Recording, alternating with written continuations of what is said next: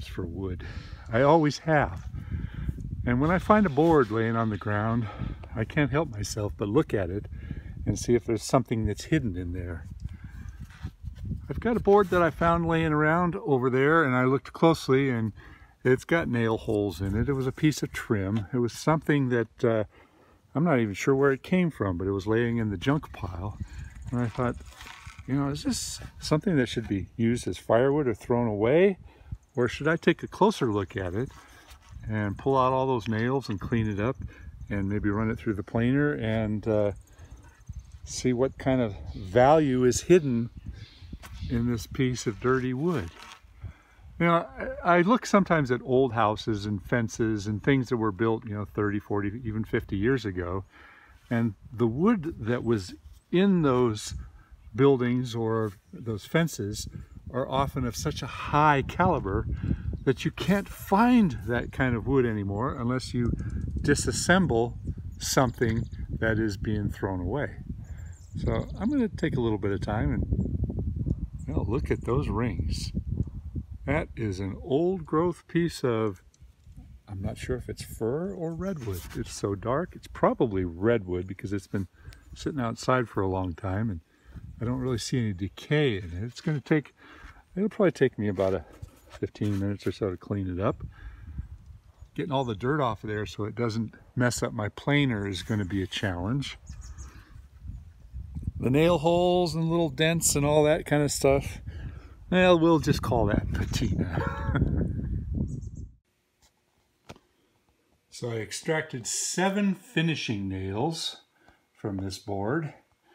And because they're finishing nails, that tells me that this was likely an interior board at one time, but I have no idea how long it's been sitting out in the weather. So I've wiped it all down, I've cleaned it up to the best of my ability with a rag, and there's still a lot of embedded dirt in there, so I think I need to go to a brush. You know, a scraper does a really good job of not tearing up the grain, but cleaning up some of that dirt. And it does it really quickly. This just took me just a couple of minutes to do this. I hit it with a broom first. I wiped off as much as I could. I wiped it down with a rag. So you know, a lot of you are saying, you know, why are you putting all that effort into a board? You know, just go buy another board at the lumberyard. Well, it's not that it's just buying another board, it's the quality of this board. And some of you are going to say, well, what are you going to do with it?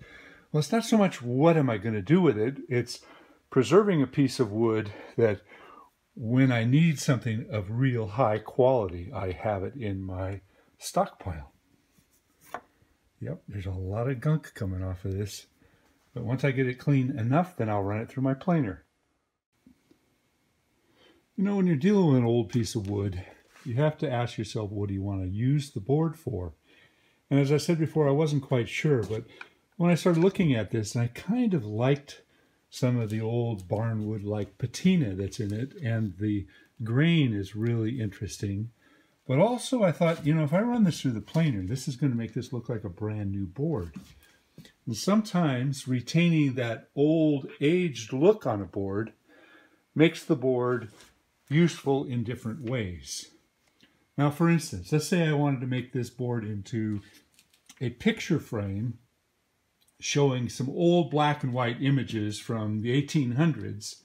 That would give the picture much more character because it would be an old, old looking frame. Now let's say the picture was of my family standing around the old horse and buggy or the barn or the mule. That would give it even more character. So don't see a board as just a board. Think about what you can do with a board and how you can capitalize on some of these boards that you can no longer find. So it is important to get all the dirt and all the grit and everything that's going to ruin your cutting edges um, out of the wood before you start processing it. And, and the planer is actually um, a, a, tool that you absolutely do not want any grit or dirt in there because you'll tear it up. So I kept working this board and I thought I'd, I'd put a, a rabbet on it just to expose the grain. I started playing with it more than actually utilizing it because I was really interested in the age of the board. So I took one edge and I sanded it down with a piece of tape on it just to clean it up, just to get a better idea of how old it is. And sometimes I'll use really, really fine meshes. What that'll do is it'll bring it up to a polish that makes it very easy and very uh, clear to, to read the age of the of the board by counting the rings. It's kind of cool. I've got a whole bunch of old antique nails, and sometimes I'll take out some nails and I'll use them for something. In this case, I'm going to build a uh, a small shelf with some hooks on it for keys. Um, polish them up, and that's what you get. You take something old and turn it into something, you know, nice. Then you've got the age and the patina and the the character of of the hook, but uh, something different. I'm, I'm kind of fast forwarding here to uh, my grandson Parker, one of my grandkids. Uh, he was talking to me about making a Father's Day present. I said, okay, well, let's go out and play in the shop. And I thought I'd take this as an opportunity to teach him a, a bit about tools. Now. So here is a, a, hand plane that I gave him. I restored it and cleaned it up and sharpened keep it. That clear. You know, it's a, it's an old Stanley. It's actually an old Bailey um, number four. And I told him this plane is worth at least a hundred dollars, so take good care of it. And I also taught him about uh, using a handsaw. Now, working with a handsaw is a, a, lost art that most adults don't even know how to do. You know, there's um, there's a skill to using a handsaw that uh, unless somebody teaches you and shows you how to use it, you'll never really understand it. I've heard many people say, I can't follow the line for the life of me. So what I did is I scribed a nice straight line on here that was parallel with the edge of this board. And I told Parker to follow the line. Really, really and he did the best he could, but you know what you have to do is yeah, you if you're do, teaching a, a child or a grandkid to, right to work some of these tools you have to work with them and show them exactly what's going on. then i explained to them what a rip blade was. That last one was a cross cut and this is a rip rip is where you follow the, the length of the board and it's got a different tooth configuration altogether. And once again i, I scribed a line and said follow that line perfectly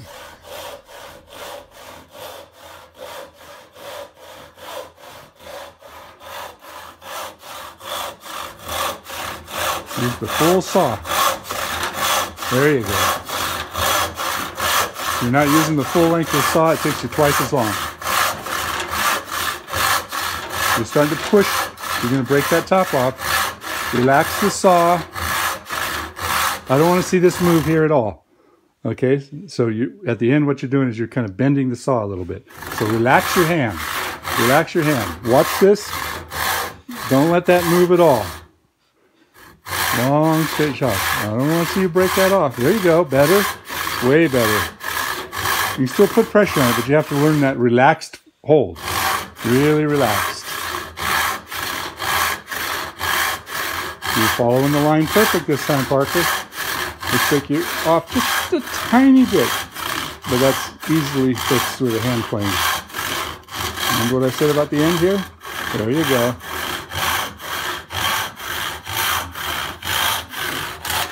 Nice. Perfect. Let's see. Well, close. A it's a little bit thick on this side. It tapers down. Not bad. Not bad.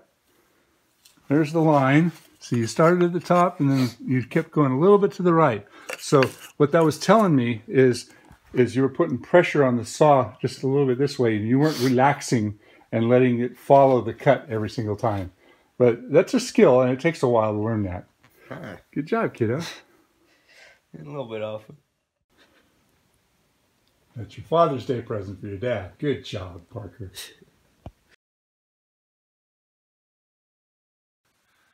I started woodworking actually when I was a boy. My grandfather was into woodworking and so was my uncle. And I started collecting tools when I was probably about 16. So my entire life I have spent collecting woodworking tools, especially hand tools. And I have an affinity to antique woodworking tools. Something about the romance of how they used to do it, what life was like back before we had power. That, that just really appeals to me. And I featured this tool in quite a few of my woodworking videos. This is called a spoke shave. Now this spoke shave dates back to the 1700s and all the components on it are brass except for the steel in the blade itself. This is uh, one of my prized tools. This tool has adjuster knobs on the top and the way it's worked is you can refine a piece of wood. So you could cut a piece of wood down quickly, get a rough shape with the, the draw knife, get it all down close to it, and then do all the refining work with something like this. So I hope you enjoy this. Uh, please share it. Uh, if you know woodworkers out there that are interested in this sort of stuff, um, I, I think they would enjoy it. And subscribe to my channel. Thanks a lot. Stay safe out there. And go out in the shop.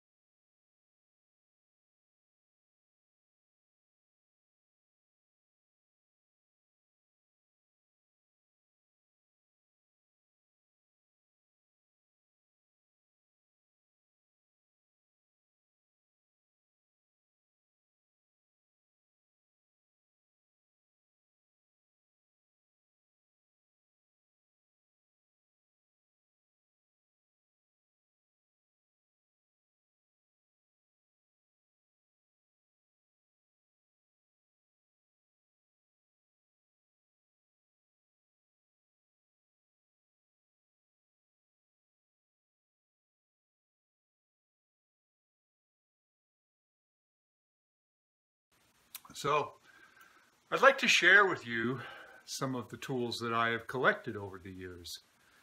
And I believe that a lot of you might find this quite interesting. I mean, I like take this for example. Isn't that beautiful? I won't go into that right now, but I'm going to explain what that is and how it's used and why it was such an important tool. I have lots of homemade tools. I mean, that's a valuable tool right there. Really valuable. but I've also got a lot of tools that span centuries. My oldest tool dates back to the 1700s. I've got a lot of early 1800s, some early 1900s, most of them in the 1800 range, and then of course I've got a lot of newer tools, the steel tools, the the, the tools that kind of revolutionized the industrial age of, of woodworking to a point where things changed. I believe that woodworking, especially working with hand tools, is a skill that is all but lost. I mean, there is a small percentage of the population of people out there like me who really enjoy not only the romance of it, but the the understanding, the recognition of what life was like a hundred years ago or 200 years ago. Before power tools, some of the most beautiful furniture ever made was produced. How was it done? What kind of craftsmanship was involved in using some of these tools to make this incredibly beautiful, incredibly intricate, fine joinery. Some of it is made without any steel at all because nails were not available. So they had to use ways of making interlocking joints, dovetails and rabbets and different types of ways of holding the wood together that would understand expansion and contraction. The piece of furniture has to work with climate change. It's a different kind of climate change, of course. We're talking about hot weather, cold weather, expansion, contraction. I want to talk a bit about wood. I want to talk about how wood is hygroscopic and it brings in water. And when it gets wet, it expands. And that moisture just might be in the air. It just might be from when the, the season changes and it's a little bit wet or a little bit damp out. Every single piece of furniture in your house expands just a little bit. Now there are some exceptions. Some people keep their homes heated all the time and the home is climate controlled in such a way that you minimize that. But we have to recognize the fact that wood moves. So the joinery, the way that pieces were put together, understanding all the little subtle nuances, like for instance, you know, what is a, a frame and panel door all about? Well, it's made so that it can expand and contract without busting to pieces. If you put something together and you make it all rigid and, and held in such a way that when it expands a little bit or contracts a little bit, it's going to force itself to crack and break apart, that piece of furniture is not going to last. So getting back to the tools, back in the early days, people understood wood a lot more than most people understand it today. So I would like to spend some time talking about tools. I hope you enjoy this. Well, let's start off by talking a little bit about some of the earliest needs for woodworking, and that's shelter. This is a project that I helped my daughter build a long, long time ago. She was reading a book about a boy and his father who had to build a log cabin. And the school project was actually to build a recreation of the log cabin to the size and the dimensions. And she was in the fifth grade when we did this together. I want to show this to you just a little bit. I'm pretty impressed with this. And Cal and I worked on this together, but uh, uh, we talked a lot about how things were sold in barrels and you know how the fireplace was the main source of heat in the house. And uh, so he's got a little bed over here and all the little components to it. Anyway, more on that later. That was a really, really good father-daughter project. So let's go back in time. Let's go back to the turn of the century. from 1700 to 1800. It was uh, a time where there was a lot of people going cross country. Not so many coming out to the west coast, but for the, the middle of the Americas, a lot of people were going to the Ohio Valley and Kentucky and different areas to start their lifestyle. And one of the first things that they would have to do would be to build their home. So what kind of tools would have been taken out back then? Well, clearly the axe is probably one of the most critical first tools that was taken out there. I want to talk a little bit about the axe first. This is a very, very old axe, and if you look at it closely, it's got a name on there. It was made in USA, West Virginia, and I want you to notice that there are big rivets in this axe. And if you look at it really, really closely, you can see that there's a seam through here. And there's an S on there. Somebody probably put that on there for an identifying mark. You can see this axe was also used as a, a mallet or a hammer because it's got some mushrooming over. That's never a good thing. But if that's the tool you've got to use, you used it. I'm guessing that this tool is from the, because of the rivets from the early 1800s. Now, modern axes are much, much different, but this was probably one of the most critical tools. I mean, you could use it for cutting the trees down, for bucking the logs into position to make your log cabin, or whatever kind of a structure you wanted to make. But you got to think about lumber back then. Lumber wasn't as readily available as it is, you know, after the Industrial Revolution when either steam power or water wheels or some kind of machinery was made to manufacture lumber that people could make conventional type housing. Now that was available, but you have to think about when the pioneers went into a new part of the world. It was a new world. They, there was no lumber, there weren't any stores, there weren't any places that they could buy stuff. So the tools that they purchased was probably just the head. Now the handles were not often sold with the tools because most of the early woodworkers, they made their own handles. They would have to go out and rive some really straight grain quality wood. Now here's a piece of ash that I've split out and I've been waiting for it to dry. This is going to be an axe handle. It's a nice straight piece of wood, so I'm probably going to use this for a double bit axe handle like this. You see I have tape on this because this one is razor sharp. This has a straight handle as opposed to more conventional axe handles that have a fawn's foot on the end and a curve to them. You know, the shapes of axes were very, very unique. And we can go into that, the axe handles, I mean, the shape axe handles were very, very unique. And a lot of people did their own custom axe handles to fit their own grip, but their own style, and they put a lot of thought into not only the straightness of the grain, the lack of any imperfections in the wood, such as a knot or a crack or a weakness, but also the way that they shaped it and the way that they, they, they worked it. Because you have to think about it.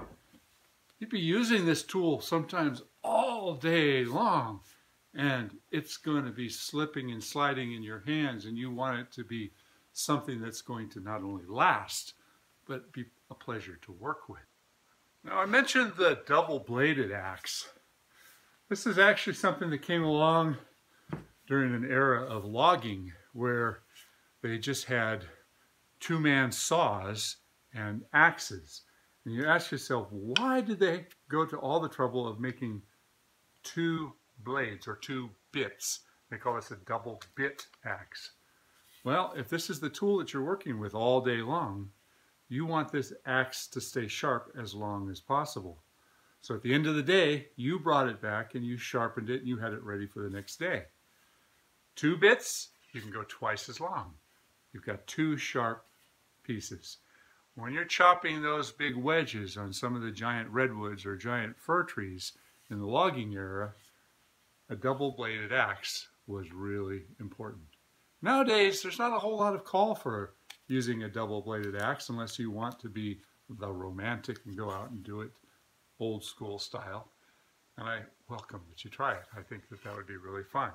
I have used this axe many times and it is, uh, it, it does take a bit of time to get used to it and it is a little bit challenging, but um, you don't find these too common. Uh, you can still buy them in hardware stores, but the purpose of a double-bladed axe, most people don't understand. You know, they, they think it's kind of cool to have it, but why two bits? So let's talk about building our cabin.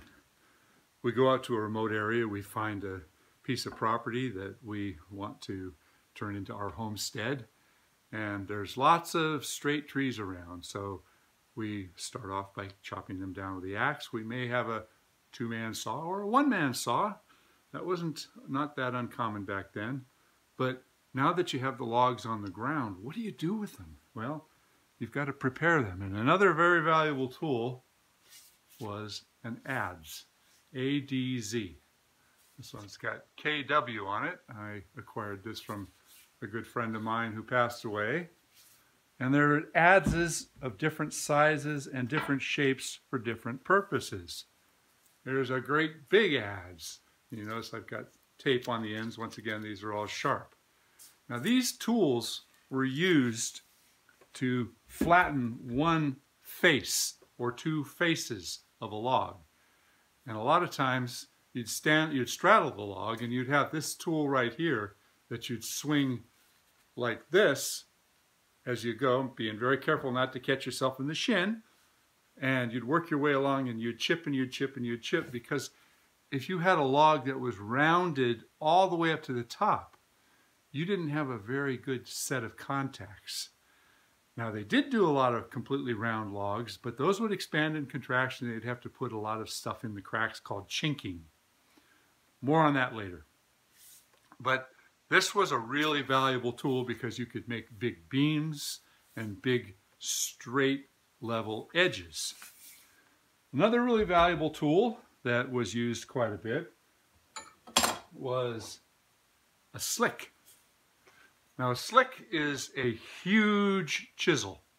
And once again, they were usually sold without a handle and they would have to either carve or shape a new handle to put in here. This is a handle that I made for this old slick. Okay, so the value of a slick is a way of refining that long straightened edge that you've made with the adze, because the adze is pretty rough. You could also use a draw knife. That was a very common tool. I'll talk about that in a bit. But the slick, the slick could be, you could have a timber even down on the ground or up on some sawhorses, and you could work your way along to flatten that edge and smooth it out. It, it kind of works a lot like a plane, but a bit, um, a bit more aggressive, a bit rougher.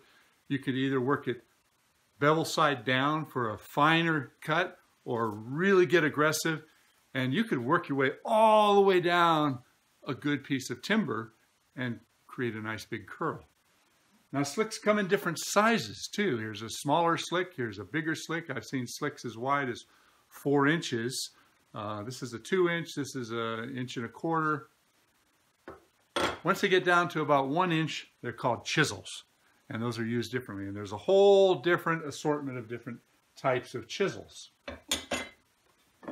This is an interesting chisel right here. This is called a mortising chisel. I want you to notice how thick it is and how strong it is. And the tang goes solidly into this really, really good boxwood handle. This is an old chisel that came from England. It's in great shape, but this was meant to be used with a mallet for pounding out mortises. Or you could use it for working into edges. You could do a lot of things with a solid, solid mortising chisel a whole chapter can be done, or a whole video could be done on just this one tool.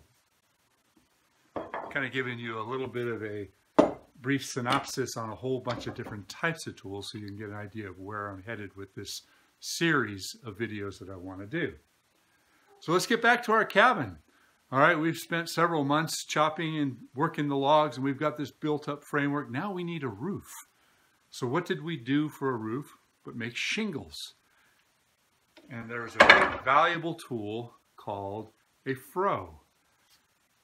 Once again, sold without a handle. You had to make your own handle and fit it in here. And a froe, you would take a chunk of wood that is cut to the length of the of the um, the shingle, the length of the shingle, and most shingles back in the early days were oh as much as 36 inches long. Nice straight grain, good quality wood. It could be made out of cedar, out of redwood. There's a whole bunch of different species of wood that are relatively decay resistant that would last longer. And what you would do is you would strike this on that piece of wood that's on the ground and you would hit it with something like this that gets really beat up. And you would lever it over to pop a shake off of. And you'd get really good at being consistent. So you'd want them about, oh, a half inch, maybe three quarters of an inch. And you would pop them onto that piece of wood and break it off. And of course, you'd have to form that piece of round to the size of the shakes that you're trying to make. And then you follow it with the grain and you work your way across. Some are a little narrower, some are a little bigger. And you could make shakes for your cabin. Now, it might take you a few weeks to make enough shakes to roof a cabin because it's a lot of work. I know, I've tried it. It's really hard. And I have so much appreciation for the skill involved in learning how to use this tool.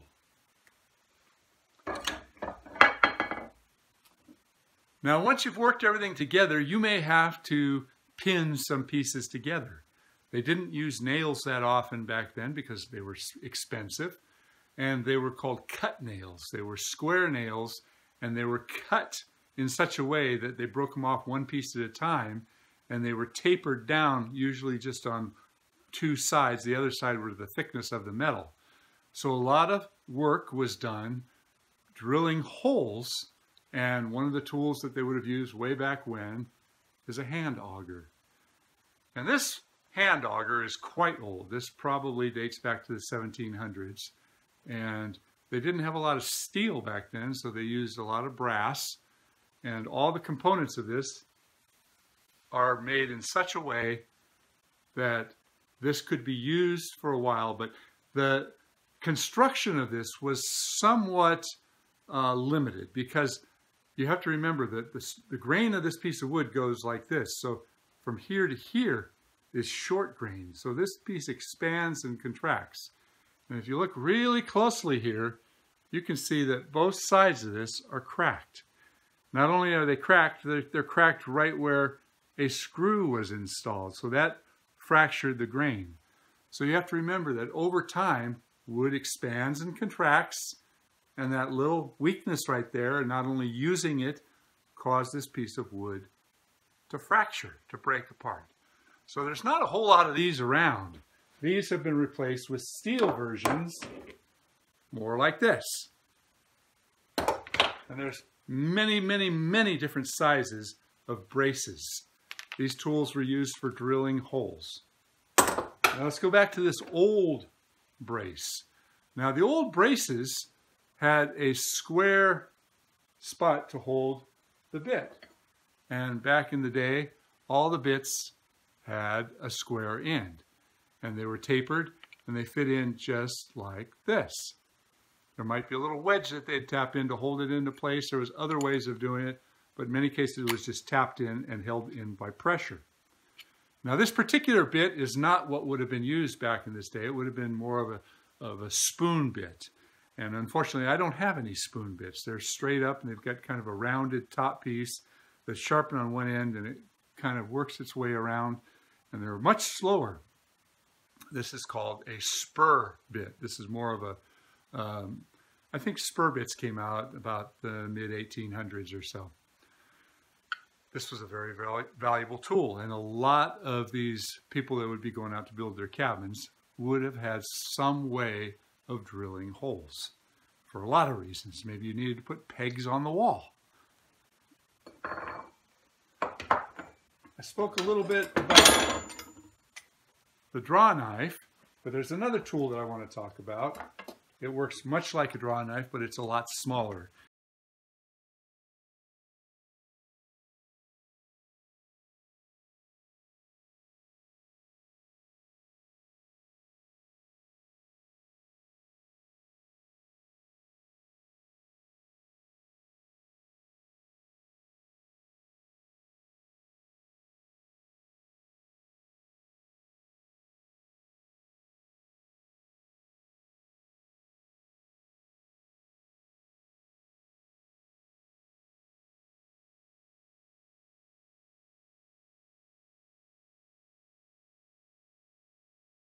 Now, most of the early pioneers wouldn't have had a tool like this because they didn't really spend a lot of time refining their woodworking. They were more crude. They were about farming and ranching and, and just getting it built. So they would have a lot of the other tools that I talked about. So I'm going to wrap this up. I hope you enjoyed that brief little uh, introduction to antique woodworking tools. Uh, I would like to spend some time and do a series of videos and feature some of these tools because I have so many tools to share. I, I literally have hundreds and hundreds of, of antique woodworking tools that I understand and I know how to use. So I hope you enjoyed this. This is a bit of a longer video, but you know what? We're kind of hunkered down right now with this uh, COVID-19 deal going on, so I'm spending quite a bit of time in the shop.